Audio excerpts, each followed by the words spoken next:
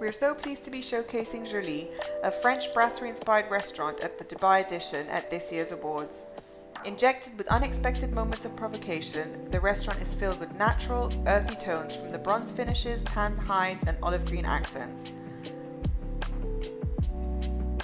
Immediately upon entering, the bar is the centerpiece of this venue, beautifully detailed with curved brass strips so it feels like it's growing out of the floor like a palm.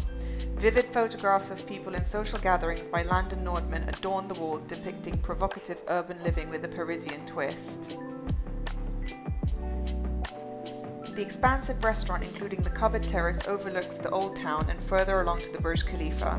The deliberate open space planning of the restaurant allows guests to see and be seen.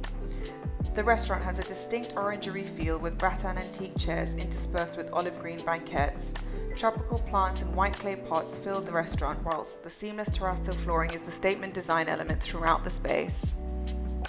A large communal chef's table made from solid oak fosters the idea of community and gathering while sharing memorable experiences. A sneak into the sommelier table beyond has guests intrigued and curious. Jolie, a modern brasserie experience with a twist.